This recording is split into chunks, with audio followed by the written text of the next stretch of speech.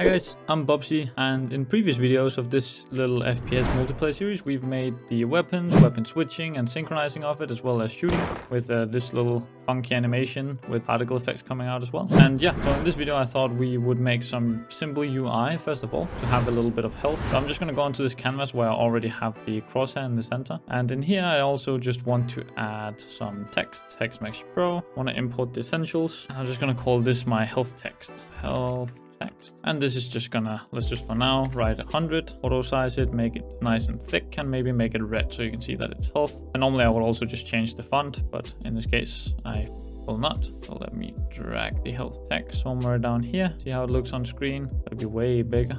So we make it something like 20 at max and put it down there. There we go. There we have some health text. Now let's make some managers. So let me make a, a, new empty game object here. I'm just going to call it game manager and this is going to hold sort of all the manager objects. This means that I will also be having sort of a UI manager. I think it's just what I'm going to be using in this case. I'm going to call this a game UI manager. This is going to take care of changing all of the stuff necessary there. So let me just throw this on the game manager and open that up. Now I can already tell you the game manager is going to be network behavior. Now this script is not necessarily going to be network behavior. So I don't need to make this network behavior. What I will want though is I want a private static game UI manager and I'm going to call that instance. If you're not familiar with the singleton pattern, I greatly urge you to get a bit familiar with it. It is really, really good. It's really powerful, but you also have to be careful. You can mess up with the singleton pattern, and we of course don't want to do that. But what I can do is instance equals to this. But what we can do first is we can say if instance not equal to null, we just want to destroy this component because it shouldn't exist because another one already exists, and then we just return out of that. And if this doesn't happen, we just create the instance. Now in here I can have a public static void set health text and this should just have some kind of string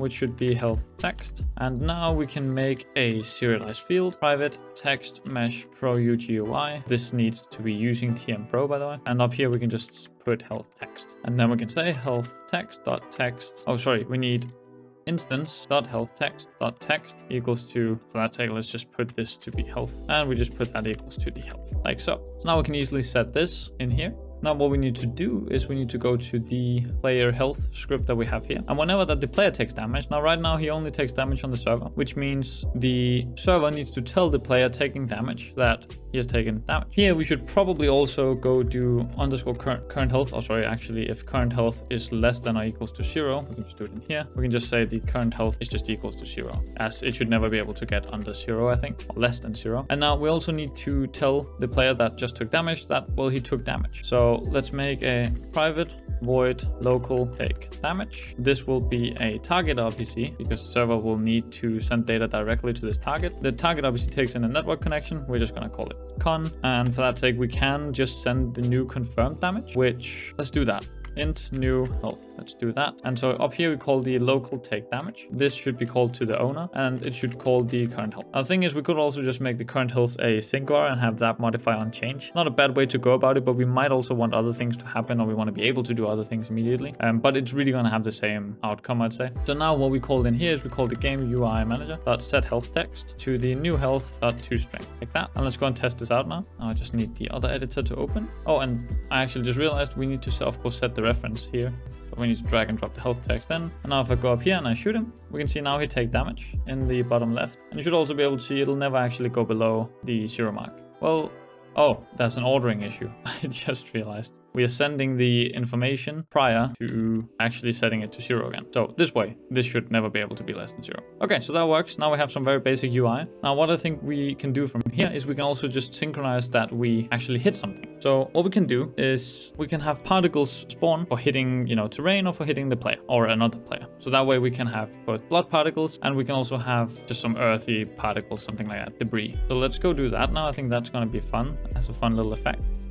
Let me make a particle system. I'm going to call this blood particles. And we're going to be using basically the same setup. So this should probably be... I'm just going to speed up the footage and make some particles here.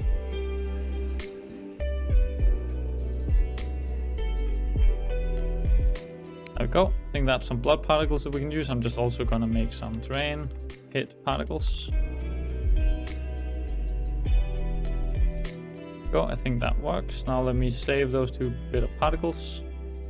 So There we. Now we can decipher if we want these particles to spawn for everyone or just for the player shooting them. So let's try and just make them spawn locally for now. Now if we go into the A player weapon again, we have the whole fire and hit detection thing here. And we probably also just want to throw the particles in here. So let's do that. So up here, for example, when we actually hit a player, we want to return. And then at the position of the hit, we want to spawn the blood particles. So let's get those immediately. Let's also get a particle system for the blood particles and we get some for the terrain hit particles. And so down here, we want to uh, instantiate the blood particles at the hit dot point. And then we want to do it in the direction from the shooter, which will then be the hit dot point minus transform dot position, I think. And this is of course a direction. So this will be Euler of this, but normalized, I think. Oh, oops, that needs an extra one. I think this is the right direction, but it might be the opposite direction. I actually just realized we probably wanted to just be the normal of the hit though. So we want to just do the hit dot normal. I think that makes better sense. And this still needs to be a quaternion dot look rotation at hit dot normal. That should work.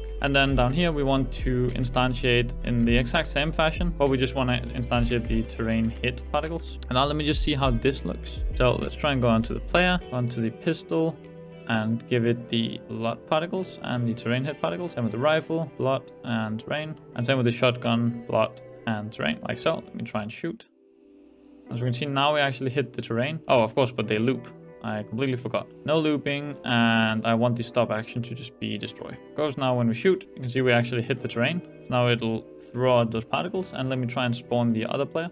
So now when we hit him, you can see blood comes out of him. Now we can hit both the ground, we can hit the player, blood will shoot out. And yeah, that works just as intended. And I think in the next video, we can just have the gameplay loop of the enemy player actually spawning and despawning. And we should probably also try and synchronize this animation a little bit better. What we could do is we can make the animation faster, the faster the fire rate is. So let's try and see what makes sense to look into in next video. But uh, as you can see, a lot of the things now actually work. And uh, we got some UI. And uh, yeah, let's move on with the next one.